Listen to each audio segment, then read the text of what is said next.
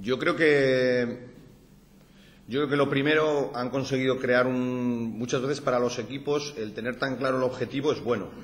O sea, yo creo que incluso se lo he leído a Porfi el, transmitir desde el primer día que ellos pueden competir en la liga, el hecho pues jugadores que habían tenido un poco protagonismo como Van Laque, eh, Battle, Diego García, gente que viene del EP, pero al final en los equipos que estamos o que llevamos poco tiempo esto es normal. Nosotros al final nuestra base de la plantilla viene del EP también. Entonces eh, el crecimiento de un equipo viene un poco por el crecimiento que puedan tener esos jugadores. Hemos visto jugadores que en Leva han jugado muy bien, han ido a la CB y no lo han hecho. Y en cambio ha habido jugadores que en Leva han estado así así y que luego en la CB han sido capaces de hacerlo bien. Yo creo que el mérito de ellos ha sido eso, el tener muy claro desde el principio ese objetivo e incluso compararía un poco la temporada de ellos un poco a la de Murcia el año pasado. Equipos que al principio, no, estos, estos van a ir mal, estos van a ir mal.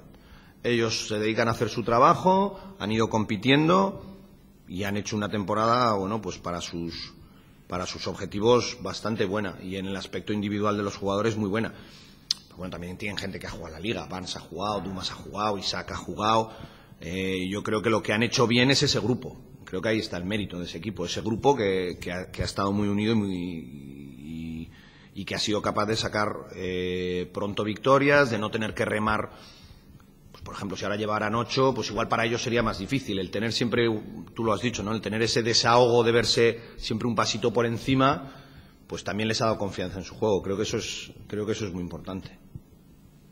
Porque pues la temporada tiene sus momentos mejores, sus momentos peores, pero en ese sentido yo creo que nadie ha dado un paso atrás en, en el grupo, ¿no? Han seguido trabajando, muchas veces sin recompensa en algunos partidos, y ahí el equipo ha estado siempre unido y trabajando. No tengo, hemos tenido momentos malos durante la temporada, hemos tenido lesiones, pero al final el grupo ha estado por encima. Y yo creo que al final una victoria como la del domingo a ellos también personalmente les, les da moral, ¿no? Les da reconocimiento. Yo me alegro mucho por me alegro mucho por ellos porque además lo notas entrenando, ¿no? Notas esa alegría entrenando de que están contentos, de que han hecho un buen partido. Muchas veces, yo qué sé, pues mira, el día de Valencia creo que el equipo estuvo muy bien, pero no lo ganamos. Y al final entras en el vestuario y no sé si le oí a Javi Clemente hace poco, después de la victoria con Sevilla, dice, ¿cómo están los chicos? Pues entra en el vestuario. Bueno, pues si entras el sábado en el vestuario, pues ves que, lo, que los jugadores estaban contentos. Porque al final es muy difícil valorar el trabajo solamente más que con victorias y derrotas, pero es así.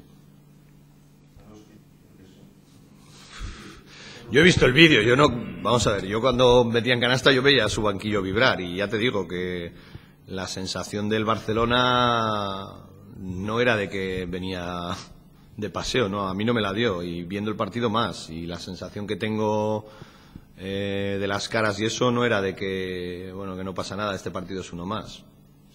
Aparte que yo no creo en eso.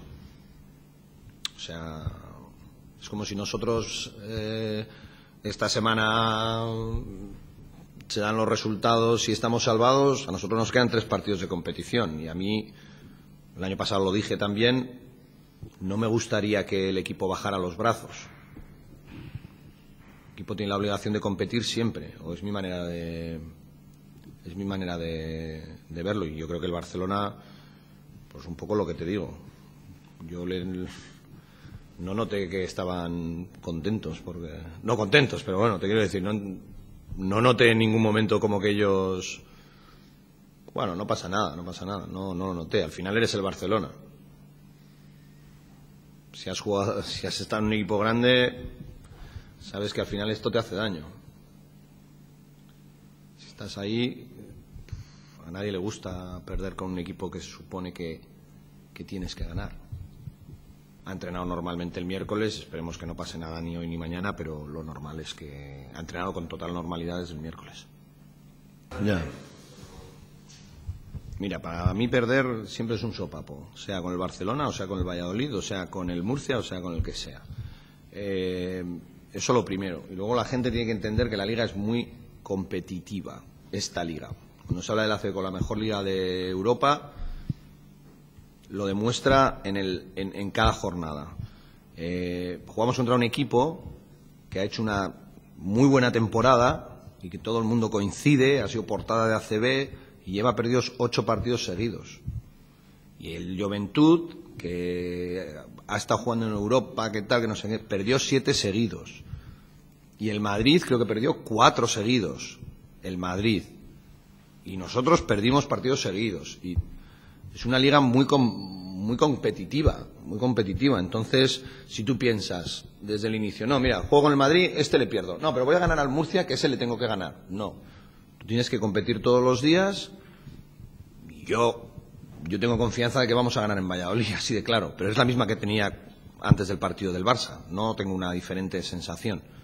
Pero luego el partido hay que jugarle y, y luego no sabes muchas veces no sabes lo que lo que puede ocurrir. Lo que yo sí veo, y en eso sí os, es que el equipo desde hace mes, mes y medio, pues está en muy buena línea, algo que nosotros también preveíamos.